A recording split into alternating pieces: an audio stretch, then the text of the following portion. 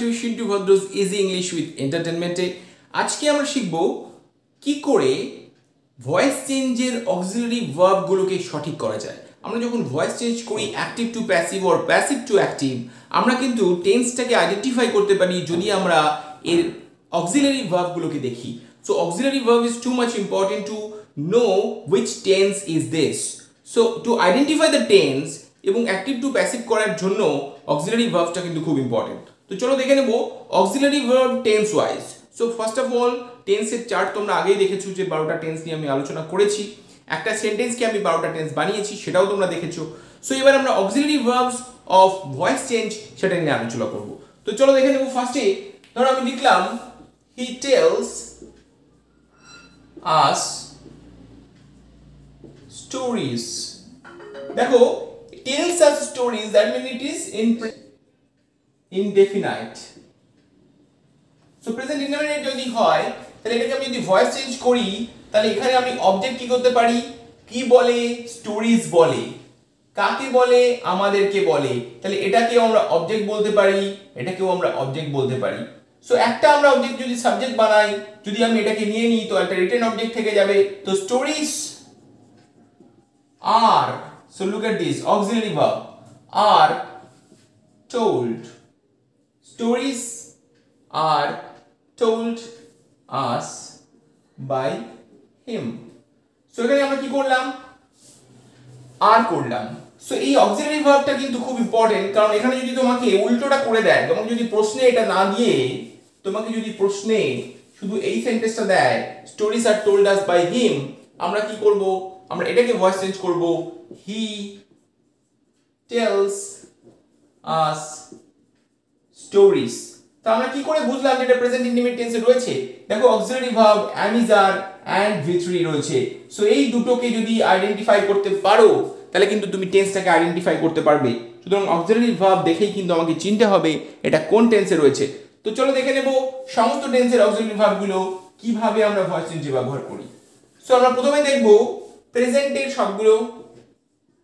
দেখো প্রেজেন্ট প্রথমে ইনডেফিনাইট ইনডেফিনাইটে কি দেখছি আমরা? অক্সিলারি ভার্ব রয়েছে am, is, are. Auxiliary for voice change auxiliary for voice change so is, are পেলাম কন্টিনিউয়াসে এখানেও কিন্তু am is are plus being. কীভাবে? ধরো বললাম he is telling us stories so আমরা যদি করি we are we we are being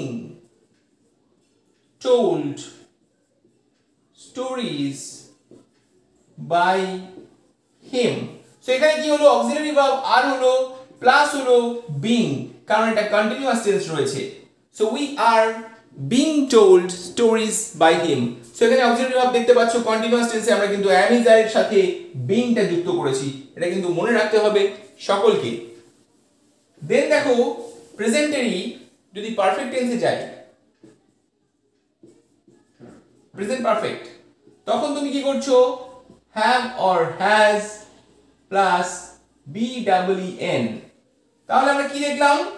যখনই কন্টিনিউয়াস হবে, সেটা প্রেজেন্ট কন্টিনিউয়াস হোক পাস্ট কন্টিনিউয়াস হোক, অথবা ফিউচার কন্টিনিউয়াস হোক, আমরা কিন্তু অক্সিলারির সাথে বিই আইএনজি বিং যুক্ত করছি শুধুমাত্র ভয়েস চেঞ্জ করার জন্য। কিন্তু যখন পারফেক্ট টেন্সে যাচ্ছ হ্যাভ হ্যাজ প্রেজেন্ট টেন্সে থাকছে প্রেজেন্ট পারফেক্টে এবং তার সঙ্গে বি ডাবল এন যুক্ত হচ্ছে বিং সো এখানে আমরা কি করলাম? হ্যাভ হ্যাজ প্লাস বিং এবার যদি বলি পারফেক্ট কন্টিনিউয়াস পারফেক্ট কন্টিনিউয়াস তখন তুমি কি করছ? Have or has plus being plus being দেখো has have being and being so present টেন্সের সমস্ত present indefinite present continuous present perfect present perfect continuous voice চেঞ্জের জন্য অক্সিলারি লিস্ট তোমাদের সামনে রয়েছে। অবশ্যই স্ক্রিনশট নিয়ে রাখো অথবা খাতায় নোট করে ফেলো, যাতে তুমি যখন ভয়েস চেঞ্জ করবে, যাতে তোমার অসুবিধা না হয়। তো এবার আমরা দেখে নেব পাস্ট টেন্সে পাস্ট টেন্সে আমরা কি কি অক্সিলারি ইউজ করব ভয়েস চেঞ্জের জন্য? তো চলো দেখে নিই। তো এখানে এটা পাস্ট থাকবে। দেখো, শুধু এটা আমি চেঞ্জ করে দেব শুধু পাস্ট এটাকে চেঞ্জ করো।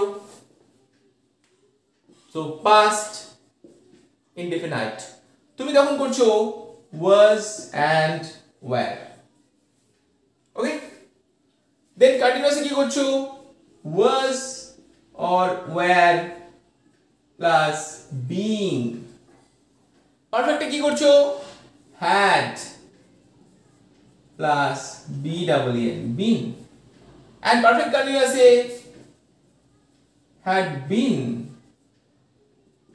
প্লাস বিন একটাই কিন্তু বসছে। খেয়াল করে দেখো।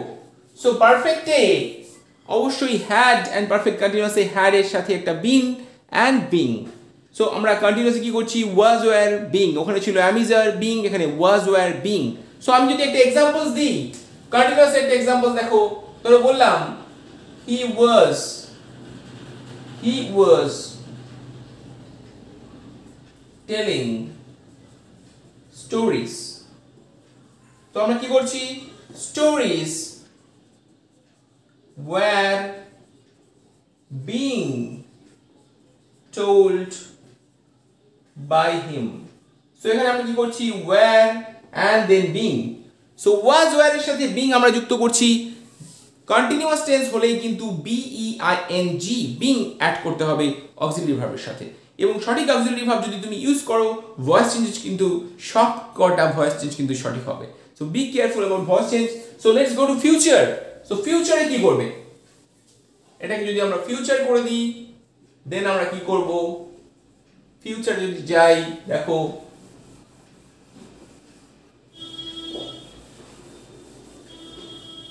ফিউচার প্রথমেই আসছে shall will shall or will continuous is shall or will plus be plus being এখানে অবশ্যই একটা বি থাকছে প্রেজেন্ট ইন ফিউচার ইনডেফিনিট টেন্সে যেমন, ধরো বললে সেন্টেন্সটা he will tell a story কি করছি দেখো? এ স্টোরি সাবজেক্ট বানাচ্ছি। Will be future indefinite will be told by him so আমরা কি করছি? ফিউচার ইনডেফিনিট টেন্স যদি করি, তখন কিন্তু অবশ্যই একটা অক্সিলারির সাথে বি যুক্ত হচ্ছে। সেটাই আমি এখানে লিখেছি, দেখো বি বসছে। কন্টিনিউয়াস টেন্সে বি অ্যান্ড বিং বসছে। এটা কিন্তু খেয়াল রাখতে হবে ফিউচার টেন্সে একটা বি এসেছে নতুন করে। অ্যান্ড পারফেক্ট টেন্সে shall or will plus have plus been এই অক্সিলারি বসছে will have been shall have been so have is fixed অনেকে প্রশ্ন করো যে স্যার থার্ড পারসন সিঙ্গুলার সাথে তো হ্যাজ হয়, কিন্তু ফিউচার পারফেক্ট একটু অন্যরকম। ফিউচার পারফেক্ট কিন্তু হ্যাভ নিয়েই চলে সো কিন্তু হ্যাজকে পছন্দ করে না।